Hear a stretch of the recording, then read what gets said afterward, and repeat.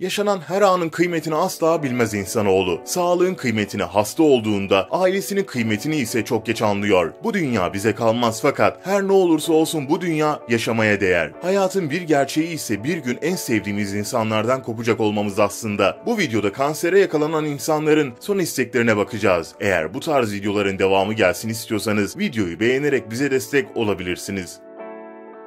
Amerika'da hastalığı son evrelerine ulaşan pankreas kanseri Jim Zez, 11 yaşındaki kızı Josie için düzenlenen mizansen düğüne katılarak belki de yaşamının son aylarında çocuğunun mürvetini görmüş oldu. Lindsay Viltaro isimli fotoğrafçının organize ettiği düğünde 62 yaşındaki Zez'in takım elbisesi, Josie'nin beyaz gelinliği, düğün pastası ve yiyecek içecek masrafları Viltaro'nun topladığı bağışlardan karşılandı.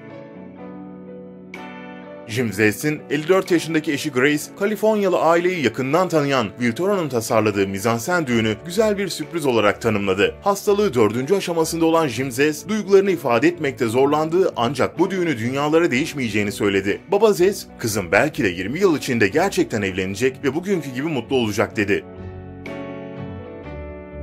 Grace Zez, eşine geçen Ekim ayında kanser teşhisi konulduğunu ve hastalığın çok hızlı ilerlediğini, doktorların da bir şeyler yapmak için çok geç olduğunu söylüyor. Kızının mürvetini ölmeden önce görmek isteyen baba için formalite olsa bile düğün yapıldı. Kız olanların farkında olduğu için ağlamaya başlayınca düğünde çok duygusal anlar yaşandı. Bu hikayedeki düğün bu şekilde son buluyor.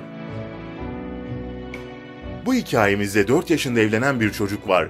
Yanlış duymadınız. Fakat sebebi duyunca kendinizi çok tuhaf hissedeceksiniz. Abby sadece 4 yaşında küçük bedeni ama kocaman kalbiyle lösemi hastalığı ile savaşıyor. Amerika New York'ta lösemi tedavisi gören 4 yaşındaki Abby, tedavisinde yardım ve neşe kaynağı olan hemşiresi Matt Hitchling'i çok seviyordu. Diğer hastane çalışanlarıyla beraber bir düğün organize ederek Abby'nin büyük bir hayalini gerçekleştirmiş oldular. Abby düğüne minik bir gelinlikle katılırken Matt ise smoking tişört ile katıldı. Mutlulukları yüzlerinden okunan bu tatlı ikiliyi 100 yılın gelin damadı olarak ilan ediyoruz. Küçük kızın mutluluk anları internet üzerinde 24 saatten kısa sürede 8 milyonun üzerinde izlendi ve küçük kıza yapılan bu sürprize emeği geçenlere teşekkür ve tebrik mesajları yağdı.